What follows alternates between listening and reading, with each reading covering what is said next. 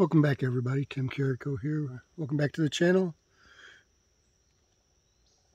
Just working on the trailer here a little bit this morning before it gets too hot out.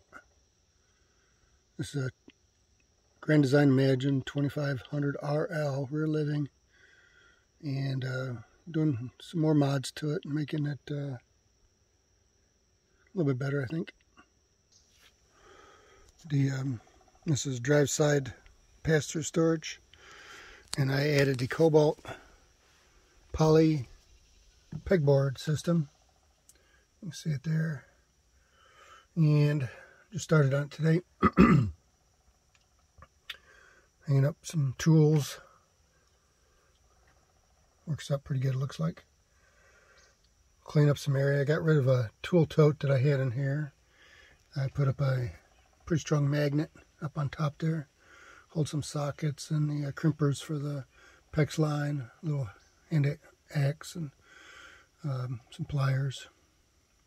There's a socket in there for the uh, lug wrenches for the uh, trailer. Um, shovel there.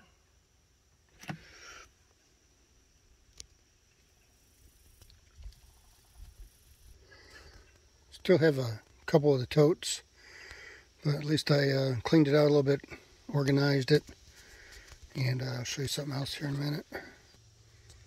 Put the totes in in order of uh, necessity.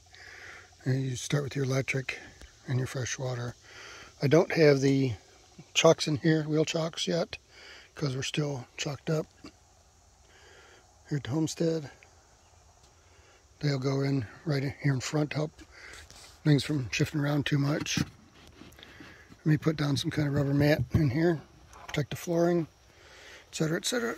But another little thing I got, well, I actually had, I bought this for the truck um, to help me get up in the back of the truck because it's so tall. And uh, it works perfect.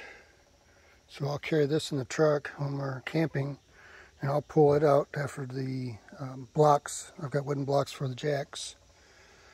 And uh, that way I can you know, set it to the side of where I'm working at. I can pull out the bins, set them out here, and, and have everything out in the open where it's easy to get to. Unless it's raining. In that case, hopefully, I have done that once already with this trailer, and it's not fun. But uh, hit like and subscribe.